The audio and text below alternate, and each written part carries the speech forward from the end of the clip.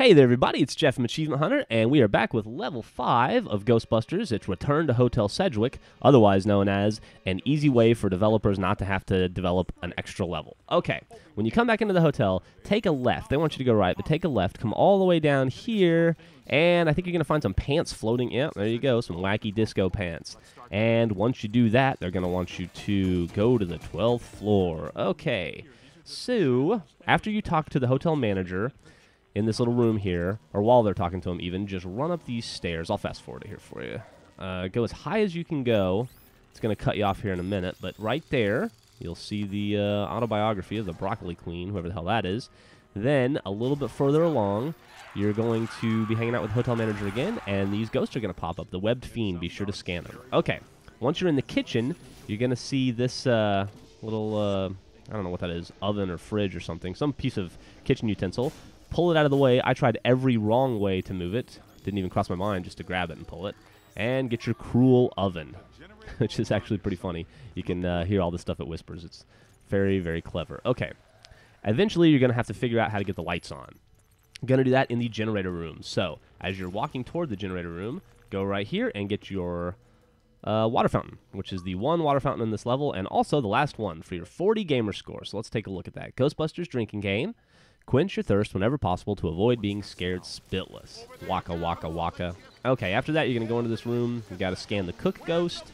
And then you're going to scan, um, there he is, Chef so-and-so. What's his name? Well, there's a kitchen flyer, of course, and then Chef DeForest. So there's three things to scan in there. And uh, once we do that, why am I still on that? Okay.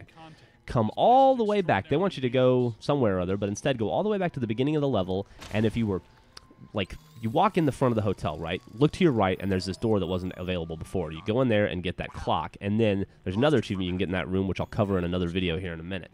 Uh, anyway, then when you're upstairs looking for the spider bitch, um, come all the way as far left as you can go. When you hit the T, they're gonna want you to go right, go left. It's always left, isn't it? Okay. And then in this room, I got a little lost finding it, but there's a bathroom you need to go into. It's not there, obviously. I don't know why I spent so much time, even though it was obviously not that room. And here we go. Open the door. Kick it open. Nobody uses knobs in this game. I don't know why. Uh, okay, and there you've got a very, very, very, very dirty toilet. Looks like Gus's house. Disgusting. Okay, uh, as you make your way towards the spider lady, let's go ahead and make sure you scan the spider crawlers. And then at some point, you're going to have to pick left or right again. This time, go right. They're mixing it up on us a little bit, those clever, clever designers. All right and you're gonna find a uh, floating beard, which is just bizarre. I don't know. I don't know what to say about that. All right, once you're in the spider la lady's lair, she's gonna hide from you for a bit, but eventually you'll find her kind of in the center, and be sure to scan her. She's the spider witch. There we go. Spirit got updated. So that's all of our fountains, all of our ghost scans, all of our hidden artifacts, and an achievement for finishing up the fountains. So we don't have to worry about that anymore. Only two levels to go. Talk to you soon. Love you.